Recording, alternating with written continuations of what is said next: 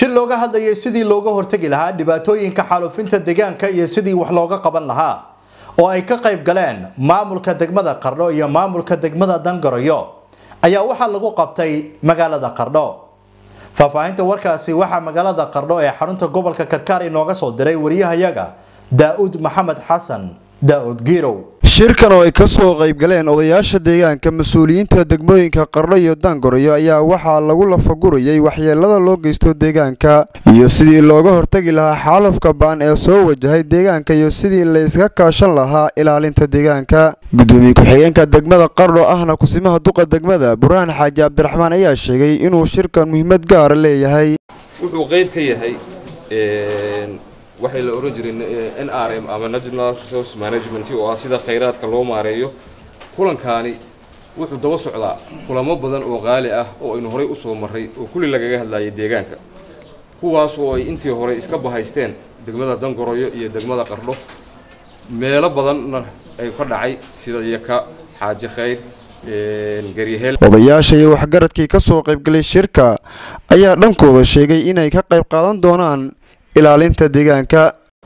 Iyadoo la rabo wadajir in wax loo wada qabto oo laysku tashado oo layska qabto waxyaalaha dhibta deegaanka ku haya. Aad baan shirkan u soo dhaweyneynaa aad baan ugu mahad celinaynaa cidda sababaysay iyo cidda isu keentay ilaah waa mahad lehe intii uu socday shirkan ayaa waxaa la ysku dhaafsaday aragtiyo kala duwan waxaana dadkii ka qaybgalay ay soo bandhigeen sida loo hagaajin karo deegaanka iyagoo bulshada inteeda kale ka codsaday inay ilaaliyaan bilicda deegaanka oo ay ka hortagaan cid kasta oo ku howlan jaridda dhirta. Si aysan u dhicin nabaadguur najiib axmed oo ka mid ah mas'uuliyiinta wasaaradda deegaanka dalxiiska ee duujoogta ayaa saxaafadda u akhriyey go'aamadii shirka.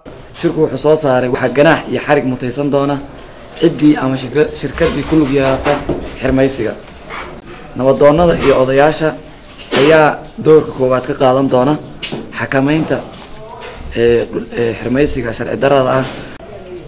Shirweyne wuxuu isla qaatay in ganacsatada dowladda dowladaha dowladda heer maamul dhexe iyo dowladda hoose gacan ka geystaan in la xakameeyo jarista dhuxusha. Sidoo kale in la dhiirigeliyo in la helo ilatamareedyo dabiici ah oo bedeli kara dhuxushii si looga maarmo in dhuxushii la shito. Sidoo kalena dowladdu samayso canshuur dhaaf. Sidoo kale goluhu wuxuu isla qaatay in hal sano oo xarig ah kun dollar oo ganaaxa gaadiidkan lagala wareego ciddii ama shirkaddii lagu helo dhuxul jaris. Ganaaxaasna loo laba laabo marka labaad oo lagu helo sidoo kale in la dardargeliyo ama la xoojiyo iskaashiga degmooyinka gobollada sidii looga gudbi lahaa caqabadaha ragaadiya deegaankeena gudoomiyaha degmada daangarayo oo shirka soo gunaaniday ayaa ku dheeraaday muhiimadda ay leedahay deegaanka oo la ilaaliyo.